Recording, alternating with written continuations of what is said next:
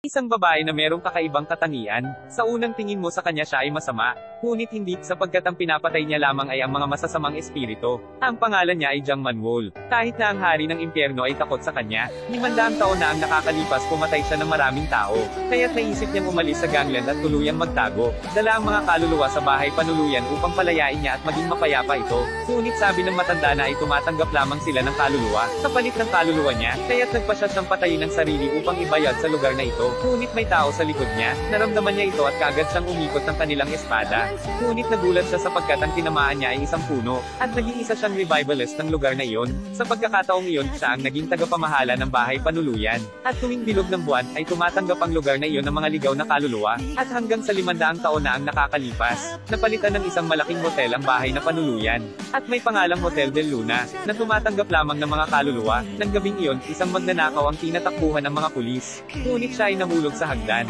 Kagad siyang tumayo sapagkat nakita niyang hinahabol pa din siya ng pulis. Tumakbo siya sa Hotel del Luna, at nakita niya ang lugar na ito ay napakaganda, kaya't nagdalawang isip siya tumuloy. Habang tinatali niya ang kanyang sintas ng sapatos, nakita niya ang nakapaang babae na naglakad sa harap niya, na pumasok sa loob ng hotel. Hanggang siya ay pumasok din. Ngunit pagpasok niya sa loob ay laking gulat niya sapagkat napakaganda sa loob nito, at meron pang isang pribadong beach. Mayroon ding rooftop terrace upang makita ang lungsod. Hanggang siya ay napunta sa isang libo-libong taon na puno, at nakita niya ang isang magandang bulaklak at kaagad niya itong kinuha upang ibigay sa kanyang anak. Ngunit sa sandaling iyon, sinipa siya ni Manuel. Ang bangkay ng lalaking ito ay nasa hospital pala, at ang kanyang kaluluwa ay pumasok sa hotel na ito. Nakiusap siya kay Manuel na pakawalan siya, sapagkat meron pa siyang naiwan na anak at ipapasalubong niya lamang ang bulaklak na iyon.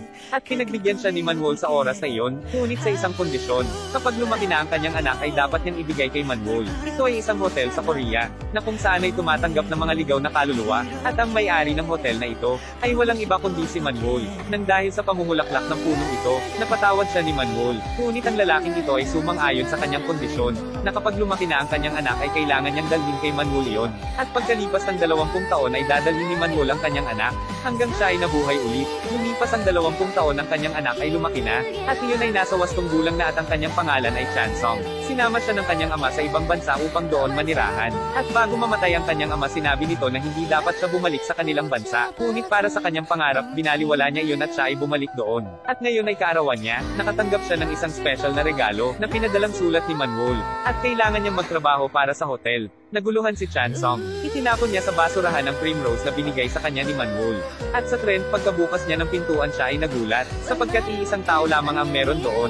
Si Manuel na bitbit ang itinapon niyang primrose. Hanggang sa maintindihan na niya ang sinabi ng kanyang ama, ang nakakatakot na isang babae. Ngunit tinanggihan niya pa din ang alok ni Manuel sa kanya.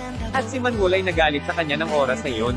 Ngunit binigyan siya ni Manuel ng isang katangian na kakaiba. Habang siya ay pauwi ay narinig niya ang boses ng kanyang ama. At sinabi sa kanyang siya ay tumakbo na. Agad na nag-impake si Chansong at umalis sa lugar na ito. Ngunit habang siya ay tumatakbo lumabo ang kanyang mga mata. Pagbukas niya ng kanyang mata nakita niya ang isang babae na nakasalamin sa harap niya. Yun pala ay binigyan siya ng kapangyarihan ni Manuel upang makakita ng mga kaluluwa. Nang hinubad ng kaluluwa ang kanyang salamin. Wala na itong mata at takot na takot si Chan. Kagad siyang tumakbo palayo. Binigay sa kanya ito ni Manuel upang siya ay masanay sa mga kaluluwa, upang ibigay sa kanya ang posisyon sa hotel. Hanggang niyaya ni Manuel si Chan upang kumain. Ngunit tinanggihan niya muli ito. Ngunit sinabi ni Manuel kung ayaw mo ay magsasarado na ang kakainin natin.